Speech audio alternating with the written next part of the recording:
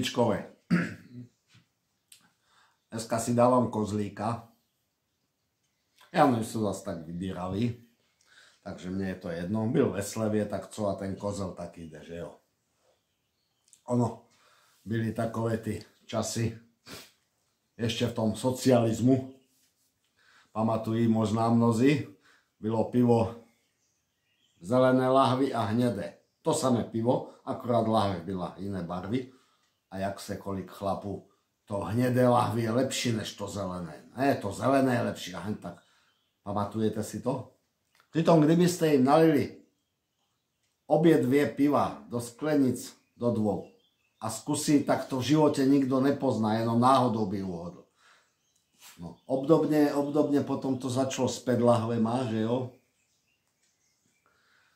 Když niekto pije pivo späť lahve a už ne, toho takovou sračku to bych nikdy nepil, jedne ze skla, tak neříkam, sú jsou takoví ty fajnšmekři a takoví ty znalci, co mají fajnové jazyčky, ktorí to rozeznají. Ale mnoho z těch, kteří jakože z petky bych pivo nikdy nevypil, mnozí z těch jsou takoví právě, kterým kdybych to nalil do skla, tak to ani nepozná. Takže asi tak je to i se mnou. Pivko si dám, proč ne? Jsou značky, které prostě už mi neberou, ale kozlík medzi ne nepatří. Ale to je jen tak na úvod, že jo. No, takže co tu dneska máme? Občas tak zabrouzdám po tom, po tom Facebooku, kdo tam co dává a tak. A když narazím na ne, někoho video, a je to jedno, kdo to je, prostě dám tam hlas a poslouchám a záleží už na něm, jestli vydržím poslouchat 5 minút, 10 minút nebo do konce, nebo tak. Proste, jak mne zaujme a, a podobne. Posledne som tak narazil už po několikáté na Lenku Tarabovou. Týmto jej zdravím. A ona tam mluvila, neže mluvila něco jako, že vysvětlovala lidem, protože jej to někdo zřejmě psal v komentářích, že proč si nezakryje krk, protože jej tam vidno ty nějaké ty, já nevím, faldy, nebo jak se tomu říká, a tak podobně. Tak ona to vysvětlovala, z čeho to má a podobně. Víte, já Lenku jsem potkal naživo, když jsem měl před rokem necelým ten koncert v Ostravě. A inak som mi videl na mnoha videích a tak. Popravde vám povím, ja som si toho nejak ani... Kdyby o tom nemluvila, tak, tak si toho ani nevšimnul, ani doteď bych o tom nevedel. Protože pro mňa toto nejsou podstatné věci.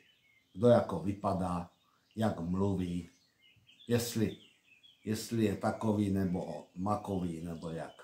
To nejsou podstatné věci pro mě. Pro mňa je podstatné, co mluví a jak to myslí a tak. Podstatné je to, co má, co má tady. Oni, oni tady títo lidi, ja nevím, možná, že jej to napsala nejaká kamarátka, ktorá jen chtela možná aj akože v dobrém, ať si to zakryje, že jej to nesluší nebo tak něco, o čem pochybujú. Protože pokud toto niekto napsal veřejne, tak to akože v komentáři, tak to asi kamarád nebo kamarádka nebyla. Protože je jedno takové staré přísloví, ktoré říká, že přítele nebo kamaráda kritizuj medzi štyrma očima a chval ho verejne. Také bych to nikdy neudělal, že bych nejaké kamarádce nebo kamarádovi tam něco skritizoval na něm. zvlášť něco, s čím nějak moc nemůže nic dělat. Takže počítám, že to napsal zase nějaký takový rypák, který prostě už se nemají čeho chytnout, už je to, už je to tak sere, prostě tady tyto lidi, to ani není, že závis, to je, to je ta zuřivost v nich. Oni jsou nasraní, oni pění a zuří a sere je to. Sere je to, že někdo je schopen říct veřejně svůj názor, i když proti proudu. A vůbec se nebojí říct tento svůj názor. Toto je sere nejvíc. A to je přivádí do zuživosti. Protože oni sami na to nenajdou odvahu. Maximálně tak anonymně z falešného profilu pod falešným jménem a vtedy jsou frajeři. Ale ukázat svoji držku a říct přímo, toto si myslím takto a takto a takto, takových moc není. Oni jsou právě tímto se vyznačují. A pokud někdo rýpne do něčeho takového, jak u Lenky, to jsou jen chudáci. Proto Lence bych vzkázal jednu věc. Lenko, si o několik levlu nad nima, tak se k ním tak chovej. Toto jsou jenom prostě ubožáci, kteří se plácají hluboko, hluboko pod tebou někde na dně v sračkách. Prostě nadhled a ignorace. Vůbec se s tím nezabývej. Já to znám taky, a už, už pěkně dlouho, co jsem začal už vysílat zprávy někdy před nějakými nějak 2014 nebo tak, tak už, už od začátku to bylo nejvíc asi, když jsem nahrál písničku na hrobu Havla, vtedy to tak nejvíc. Ráčkuje a opilec a překúžený hlas a podobně. A vidím to dodnes občas, takový komentář se ukáže. Jo? Hlavně to ráčkování. No a co? Vás to sere? Mne teda vůbec ne. Ale už jsem viděli takové komentáře, co napíšou, že no, takový člověk, co takto mluví, by vůbec neměl vystupovat veřejně nikde. Vidíte? A tu jsme u toho. To jsou ty kořeny fašismu. Toto je přesně ono. Podle těchto duchaplných lidí, zřejmě nádherných sportovních typů, vymakaných, dokonalá symetrie, všecko nádherné těla, asi, tak podle těchto by měli vystupovat veřejně jenom lidi, kteří jsou prostě ženské, úplné mis. Chlapi tež, nádherní, svalnatí sportovci, krásní, ulízaní, případně ještě teplí. Takoví by měli vystupovat jenom, dávat nějaké ty videa podle těchto lidí. Toto je ten nastupující fašismus, který se tady už vkrádá pěknou dobu a nikomu to nějak moc zatím nevadí. Je to, je to takové... Víte, že já si, víte, že já si z takových lidí dělám prdel většinou, že mě absolutně nedokážou ani nasrat, ani nějak to, ale jako dost mě to, dost mě to tak naštvalo u té Lenky. Co už je toto za primitivní hovado, když něco takového, pokud to napsal veřejně, co je to za primitivní hovado? Úplný chudák. Chudák člověk, prostě ubožák. Protože jak když se tak chlapi štengrujou, dobre, ale, ale ženské,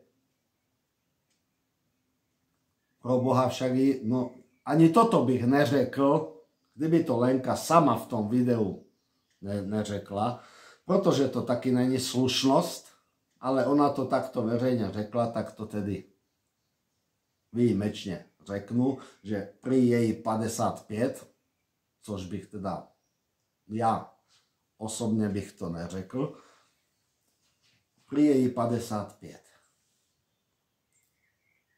A vy, co máte doma, i mladší ženy kolikrát, co vypadají jak skysnutá bečka zelí. Kolikrát to právě takový to píšou.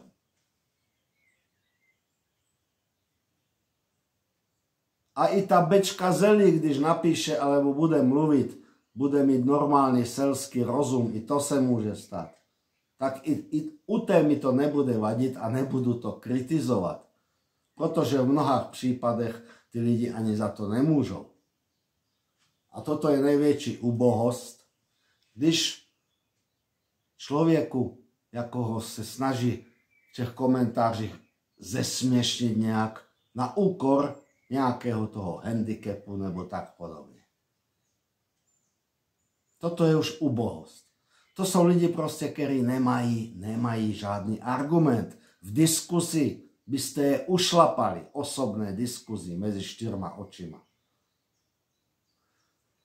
To jsem viděl právě posledně v tom KTV. Jsem se díval minule. Jak tam byl ten, jak on se jmenoval. Jistě jste to mnozí viděli. Kaniza nebo jak, když odcházel. Prostě to byl člověk, celý rozhovor, ja som sa divil tomu Smetanovi, že to vydržel, protože už ke konci už aj ja som to preskakoval asi po 5 minútach, protože ten dement mluvil furt dokola bleblebleble a, a všimnejte si, že mluvil podobne, podobným stylem, jak to reporíske prase.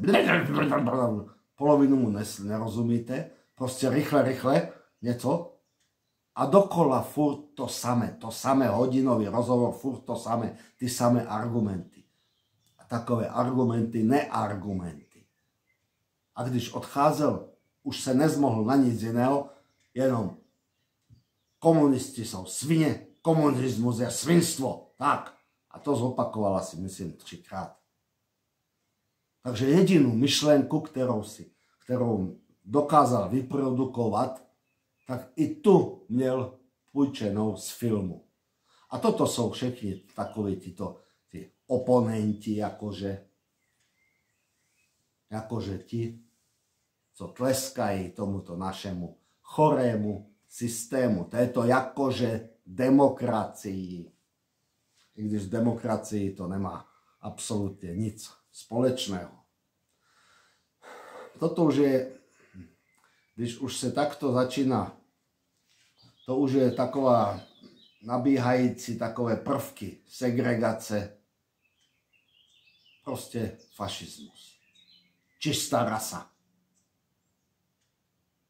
Jo, před pár lety, před nějakými deseti lety bych jim možná pasoval, pokud bych nic neříkal. Protože to jsem byl taky blondiáda s modrýma očima. Dneska už jsem šedivý, no bohužel takže už asi čistá rasa nejsem. Ale jsou tam ty prvky a vidíme to mnozí v dnešním, v dnešním životě, jak to chodí. A je to, je to hodně smutné, že tyto lidi si vlastně ani neuvědomují, co dělají. Jenom proto, že vlastně slepě papouškují, kde co zaslechnou, tak jenom to papouškují. Nic jiného. Oni nemají svoje myšlenky, svoje myšlení. Jenom papouškují. Prostě houpací kone. A že nějaká demokracie... Hm. Teď se opět ukázalo, a myslím, někdy koncem minulého týdne jsem to zachytil, tu zprávičku, jak se Američanům nelíbí, a chtějí nějaké ty sankce na Maďarsko nebo tak uvalit, že jim nedo, nebudou dodávat zbraně žádné, absolutně nic, Protože Maďarsko vetovalo vstup Švédska do NATO. Takže, co to ukazuje? To ukazuje zase jenom tu skutečnou tvář té demokracie. Toto je skutečná tvář demokracie. Tak, jak ji aplikuje Brusel, stejně tak Amerika. Budeme demokraticky volit. Každý máte právo v tom NATO, každý máte právo demokraticky zvoliť si to, co uznáte za vhodné. Ale skúste voliť proti nám. Hned nedodáme vám zbrane, embargo a neviem, aké cipoviny. Takže kde je tá demokracie? Kde je tá sloboda rozhodování? Každý podle svého vědomí a sviedomí. Kde to je? Když je to teda demokracie. Kde je ten? Kde je to právo každého rozhodnout se sám za sebe? Rozhodnout se můžete sám za sebe, ale jen odsamcať, pocamcať. Nic víc. A toto je skutečná a pravá tvář demokracie. Stejne takto vidíme i z Bruselu. Teď ste ma uprchlíkama, což je, což je, to už, když jsem to říkal už asi už před pár rokama, že to takto bude. A kdybych to video našel někde ještě, tak, tak bych si ho spustil schválně. Protože takto přesně to je. Tam Merklová pozvala, poďte všichni k nám do Evropy, poďte všichni do Německa, jste vítáni. A teď, když ich mají tady, tam jak nasraných, tak vy si budete brát a kdo, kdo ne, zaplatíte půl milionu za každou hlavu. O tom už jsem minule říkal, že samozřejmě Němci by nám to nasypali tu nej, nejhorší havěť. Určitě nám nedají žádného z těch, který se, z těch mála, co se integrovali a dokonce začali chodit do práce, tak z těch by nám určitě nedali ani jednoho, jenom ty vyžírky a kriminální živly. A budete, budete je brát, když ne, budete platiť. Toto je taky pravá tvář demokracie. Uvázať si vás a podobne. V tomto kontextu mne tak napadlo, jak to ten Reichl říká, nebudu teď hledět na to, jaký takový makový Reichl nebo něco. Na Reichla už jsem vám kdysi řekl svůj názor a hotovo, zatím si zatím, prozatím si za tím názorem stojím, protože ještě zatím nějak moc toho ne, neukázal. Sjednotil trošku lidi. No. Ale o tom teď nechci. On vysvětloval, proč, proč nemluví o tom, že by vystúpil z Európskej únie. Vysvětlil to celkem polopatisticky a popravde, možná někoho z vás na seru, ale popravde něco podobného jsem říkal už taky před pár lety. Proč asi? Protože všechny vlády od vstupu do toho satanského spolku, všechny, každá jedna vláda, nás zavázali tolika smlouvama, které naši politici podepsali. Nebylo to násilím, prostě naši politici, řiťolesci bruselskí, to popodepisovali. Tolik smluv, že my kdyby sme teď řekli, chceme ven z EU, tak nás zežerou. Ani ty trencle oprdené by nám nezůstaly. Viděl jsem už tolik komentářů, kde lidi říkali, no tak chvilku vydržíme bídu a tak. Teď ještě není ta bída a už kolik lidí bečí. Včetně mě. Protože tu ten fialov blahobyt jsem taky pocítil.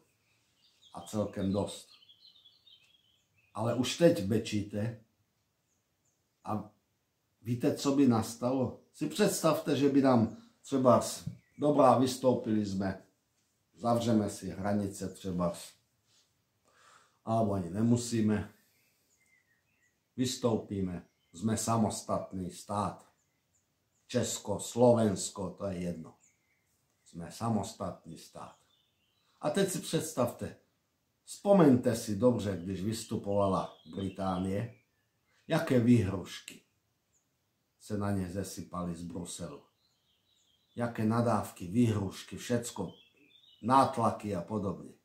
Jenomže oni Brusel potřebuje Británii. Protože Británie je jedna ruka s Amerikou a Brusel je poddaný Ameriky, takže musí držet hubu. Krom toho Británie je nějaká velmoc, která to ustála. A chcete se srovnávat naše pidi zemičky, chcete se srovnávat s Británií? Si děláte prdel, ne? Takže já bych byl jeden z nejšťastnějších lidí, který by, kdyby, kdyby jsme do toho satanského spolku nevlezli. Ale no, před lety jsem říkal, že asi budeme muset počkat a doufat, že se ten bordel zasraný to hnízdo sviní, že se rozpadne sám. Uvidíme, co přinese budoucnost. Ale není to. V tomto jednom má Reichl pravdu. Já jsem to říkal už před pár lety, on mi to jen teď potvrdil a vím, o čem mluvím, že má pravdu v tomto. Takové výkřiky, pojďme hned, zítra vylezeme ven tak si představte, že by se nasrali. Co my máme? Že by nám dali embargo kompletně na všechno. Všichni, co dělají venku, zmizněte domů. Co by tu nastalo? Chudoba, obrovská chudoba, jako si nedovedeme ani představit. Nezaměstnanost, ještě větší Nemali, neměli bychom nic, však, však nás o všechno okradli. Ještě i ty automobilky, které tady zaměstnávají v těch montov, montovnách tisíce lidí a na to navazující další firmy, to jsou statisíce lidí. Ty automobilky, by, jim to nedělá problém přesunout se do nějaké jiné poslušné krajiny. Takže ani to by jsme tu neměli. Takže tady by bylo, ze dne na den by tu bylo miliony a miliony nezaměstnaných. Takže takto nad tím přemýšlejte lidi. Já vím, jak to chcete, jak to myslíte. Já vám rozumím, protože sám bych byl nejraději, ale nejde to ze dne na den určitě. V tomto jednom má fakt Reichl pravdu. Bohužel. Protože jsme upsali jsme se ďáblovi. Vstupem do EU jsme se upsali ďáblovi, podepsali jsme ji vlastně krví a teď teď s tím nejde momentálně. Nejde s tím nic dělat. Aspoň určitě ne okamžitě. Je to tak, bohužel.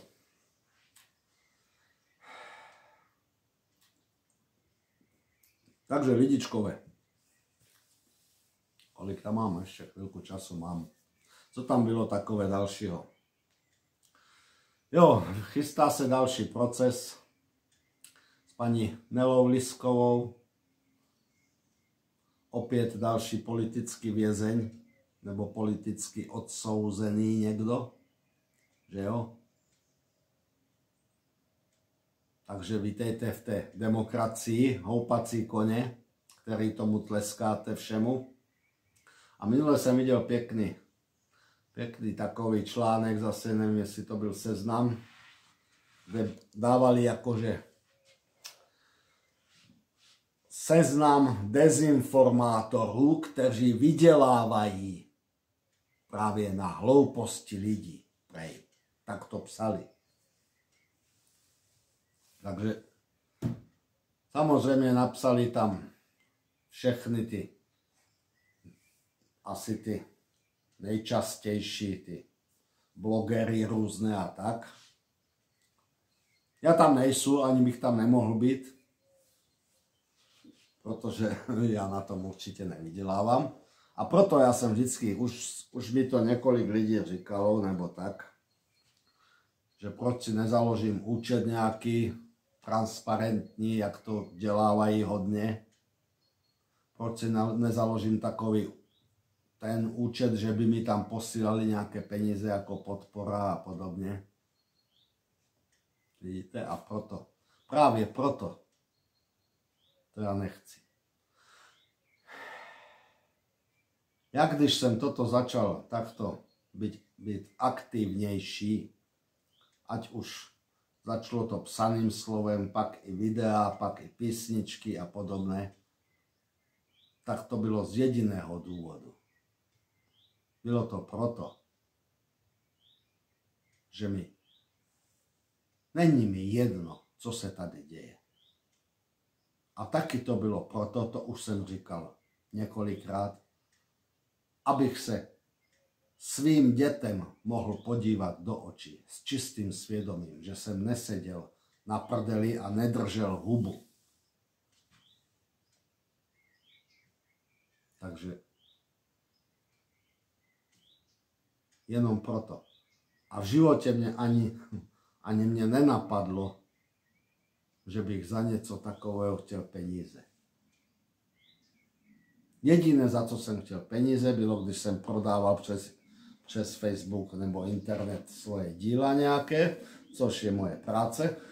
Alebo když jsem prodával, když prodávám CDčka, samozřejmě ty CDčka nejsou zaplacené. Vrátili se mi už náklady, ale to jsou čisté náklady. Jinak jsou za to zatím ještě stovky hodin práce za těma písničkama všema a na tom mi tak moc nesejde. Já jsem to nedělal kvůli tomu, abych zbohatnul, nejsem, nejsem tam, já nevím, Hruza nebo Michal David nebo podobný. Nic nedělám kvůli penězům.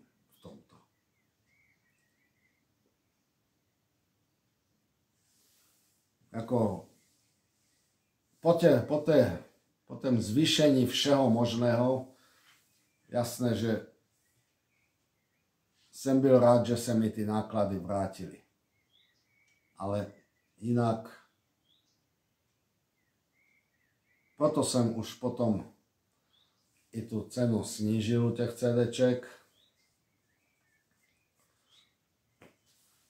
A pokud se nějaké prodá navíc, No co, neříkám, že mi to nepadne dobře. Ještě pořád jsou nějaké, pokud jsou, tak pokud se prodají, prodají. Když se neprodají, svět se z toho nezhroutí. Ale určitě nebudu prodávat fény tady za tisíce a podobné věci. Alebo si zakladat účty a lidi posílejte mi. Posílejte mi. Ne. Pro peníze jsem nic tady za ty roky nedělal. Neříkám, že mi už pár lidí nepřispělo nějakou malou částkou. Jo, jako potěší to, ale nedělám to rád, proto ani nemám žádný účet. Takže to by bylo asi tak všecko dneska lidičkové. Dopiju kozlíka a půjdu spát, protože z toho víkendu mě ještě furt bolí kolena a ještě mám, ještě mám co dělat stejně. Takže zatím lidičkové se držte, opatrujte se, nepodporujte fašisty Však vy víte. Zdůř.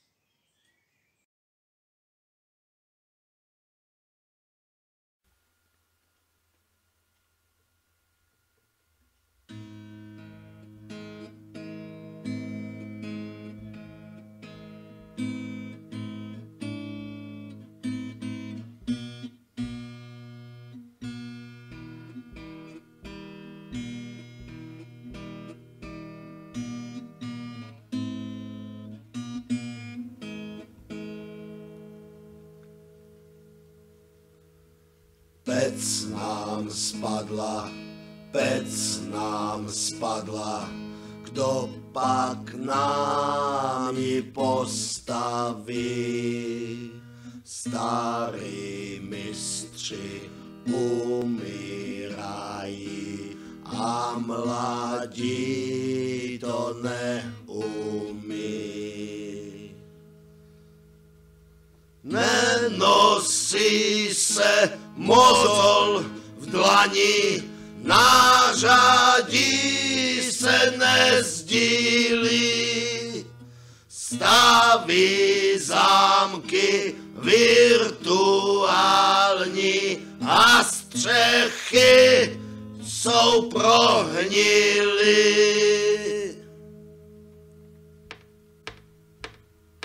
Pec nám spadla, pec nám spadla, aby v zimě nezmrzli.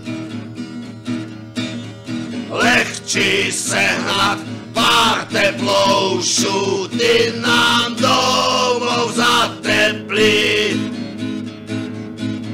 V Bruselu jsou tupců rody, lehce se s tím poperou natáhají buzno vody a pece se zakážou. Pec nám spadla, pec nám spadla, sní hrdost republiky. Novou pec nám připostaví inženýři z Afriky. Zavoláme do Washingtonu, tam pri všechno dovedou. Ukažte jim jednu cihlu, o barák vás ojebou.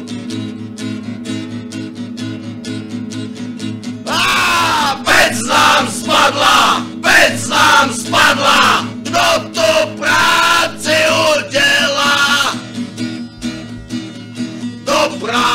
chuť dávno zvadla, prachy šli do kostela. Na tom našem zboženišti EU vlajky zavlají prdeli je život, příští ovce tomu tleskají. Pec nám spadla, pec nám spadla, práší se nám do žádla. V prachu divné vitamíny vystříkané z letadla.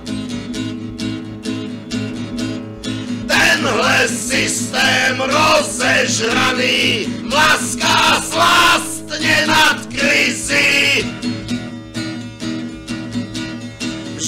Jsou mozky očkovaný z ojebu v televizi.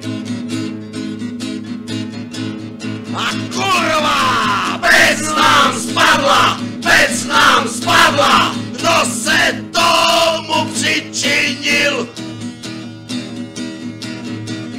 Vládní ruka cihly kradla, pak zloděju prach zakryl.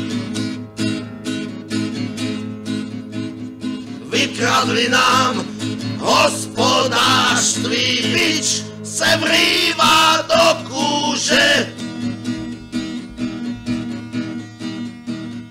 demokrat si panství staví, národ nahnal do louže. Pec nám spadla, pec nám spadla, stlousnul z toho politik. Zloději se chytli, pádla jako kozel zahradník. Ze zahrádky vše vyžrali, slepičky nám pobili. Snad ty kozly nenažraný národ je